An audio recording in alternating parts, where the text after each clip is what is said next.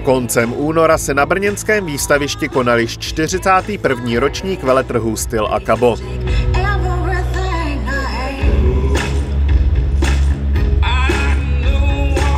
Právě na této prestižní a médii sledované akci se pravidelně schází nejvýznamnější výrobci a prodejci z různých oborů módního a obuvnického průmyslu.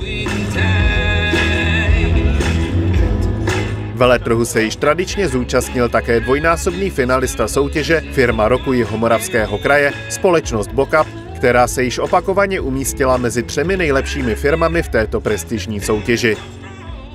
Naše firma Bokap eh, byla založena v roce 92, to znamená v oboru jsme, na trhu jsme již 20 let.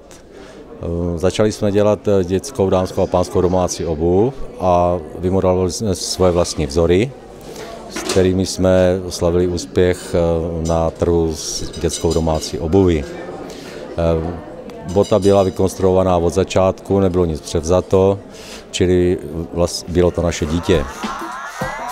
Na prestižních módních veletrzích prezentovala společnost Bokap ucelenou kolekci dětské, dámské a pánské domácí obuvy. V tomto sortimentu nabízíme od pantoflí až po de facto eh, důchodky, které se dají nosit po venku. Je to zateplená domácí obuv. Ty pantofle to se používá víceméně v domácnosti a určeno je to víceméně pro každého, Mladší generace nosí pantofle a ty starší generace, tam už eh, je ta bačkora zavřená, dá se udělat i s kožíškem, eh, co znamená, že je to pohodlný a teplý. Dětská domácí obuv od společnosti Bokap disponuje certifikátem zdravotní nezávadnosti, takzvanou žirafou. Tento certifikát uděluje Institut pro testování a certifikaci těm výrobkům, které odpovídají požadavkům na ortopedickou a hygienickou nezávadnost a bezpečnost při jejím používání. Tak získat tohle ocenění je docela náročné, protože uh, ta domácí bačkůrka dětská se pošle vlastně do ITC Zlín, do státní zkušebny, uh, kde se zkouší uh, jak vrchový materiál, tak podešev, tak a hlavně ta konstrukce, ty boty celkové, aby vlastně to dítě nemělo tu nohu poškozenou.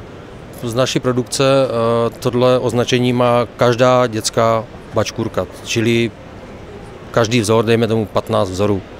Tak chtěl bych zdůraznit rodičům to, že eh, by si měli uvědomit, že dítě tráví eh, v domácí obuví víc času, jak eh, v té vycházkové, protože když přijde ráno do školy, tak si musí obuť papuče, v kterých je celou školní docházku.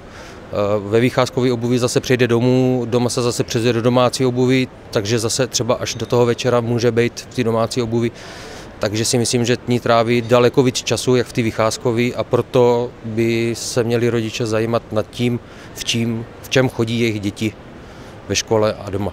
Naše výrobky eh, se dají koupit de facto po celé republice, eh, co se týče od malých prodejníček, soukromníčků až po velké řetězce.